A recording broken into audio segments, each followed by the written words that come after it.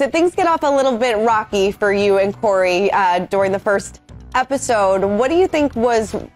I mean, I think that maybe drinking was a little bit involved, but what what do you think was the problem? You know, the first episode going into this, and what were you, the two of you, hoping to accomplish during this season? Um, I think for the the first day that we were there, it was just like a lot of, like you said, drinking and just being away from home and being away from the kids. And I think that played like a little part in that.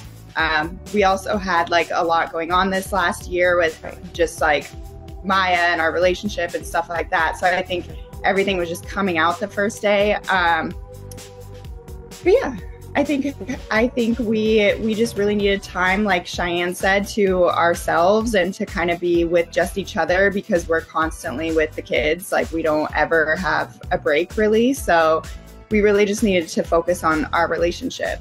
Mm-hmm. You know, he said that he wanted to work on some deep-rooted issues between the two of you. What what are some of those deep-rooted issues that you had to kind of Um, navigate through?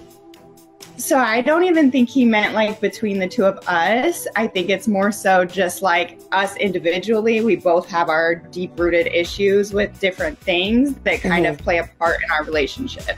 Yeah, no, definitely. You know, I think he says in the teaser that you're either going to get married on the show or separate.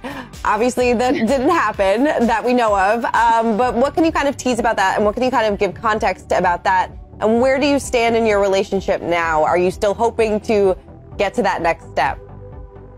Um, I don't want to like give anything away. Um, but we're definitely still together. I will say Okay. we definitely did not separate.